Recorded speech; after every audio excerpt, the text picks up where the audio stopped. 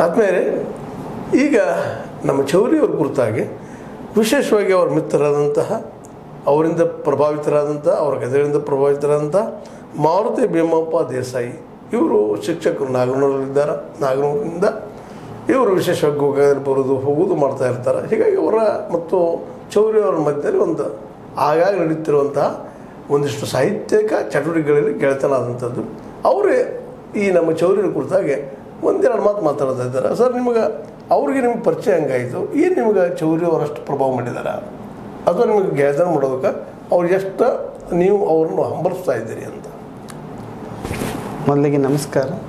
Lakshman, doctor Lakshman ಚೌರಿ ಅವರು ಗೋಕಾಕ್ ಚುಟುಕು ಸಾಹಿತ್ಯ ಪರಿಷತ್ ಉದ್ಘಾಟನೆ ಸಂದರ್ಭದಲ್ಲಿ ನನಗೆ ಪರಿಚಯ ಆಗಿದ್ದಾರೆ. ಅವರ ಸರಳ ವ್ಯಕ್ತಿತ್ವ ನನಗೆ ಬಹಳಷ್ಟು ಪ್ರಭಾವ ಬೀರ್ತಾರೆ ಆಮೇಲೆ ಅವರ ಚೌರೀಶನ ಕಥೆಗಳು ನನಗೆ ತುಂಬ ಆಸಕ್ತಿಯನ್ನು ಹುಟ್ಟಿಸ್ತು. ಏನಾದರೂ ಮೊದಲು ನಾನು ಮಕ್ಕಳ ಕವನಗಳನ್ನು ಮಾತ್ರ ಬರಿತಾ ಇದ್ದೆ ಅವರ ಕಥೆಗಳನ್ನು ಓದಿದ ನಂತರ ನನಗೆ ಮಕ್ಕಳ ಕವಿತೆಗಳನ್ನ ಬರೆಯುವಂತಹ ಒಂದು ಉತ್ಸಾಹ ಪ್ರೇರಣೆ ನೀಡಿತು ಅಂತ ಹೇಳ್ಬೋದು ರೀ ವಿಶೇಷವಾಗಿ ನೀವು ಅವರು ಬರೆದಂಥ ಮಕ್ಕಳ ಸಾಹಿತ್ಯ ಆಗಿರ್ಬೋದು ಅಥವಾ ಹೆಣ್ಣುಗಳ ಸಾಹಿತ್ಯ ಆಗಿರ್ಬೋದು ಅವುಗಳ ಪ್ರಭಾವ ನೀವು ಬರೆದು ಅಂತ ಹೇಳಿದ್ರಿ.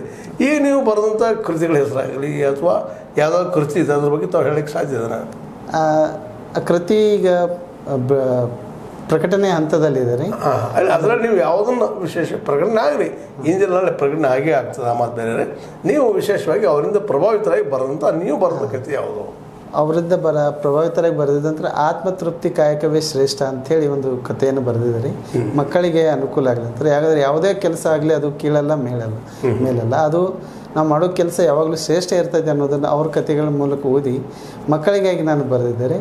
ಅದರ ಪ್ರಭಾವ ಚೌರಿಷನ್ ಕಥೆಗಳಾಯ್ತು ರೀ ಮತ್ತು ಅಯೋಧ್ಯೆಯಲ್ಲಿ ಶ್ರೀರಾಮ ಮಂದಿರ ನಿರ್ಮಾಣ ಆಯ್ತಲ್ರಿ? ಆ ಮೂರ್ತಿಯನ್ನು ಕರ್ನಾಟಕದಲ್ಲಿ ಸಿಕ್ಕಿದ್ದು ನನಗೆ ಅದು ಪ್ರೇರಣೆ ನೀಡುತ್ತೆ ಅಂತ ಹೇಳ್ಬೋದು ರೀ ಇಲ್ಲಿ ಕರ್ನಾಟಕದ ಕರ್ನಾಟಕದ ಒಬ್ಬ ಕಲಾಕಾರ ತಯಾರು ಅವರು. ಕಲ್ಲುಗಳನ್ನ ಹುಡುಕ್ಲಿಕ್ಕೆ ಹೋದ ಹೋಗಿದ್ದ ಸಂದರ್ಭವನ್ನು ಹೇಳಿದಾಗ್ರೆ ಅದ ಪ್ರಭಾವ ಇಟ್ಕೊಂಡು ಬರೆದಿದ್ದಾರೆ.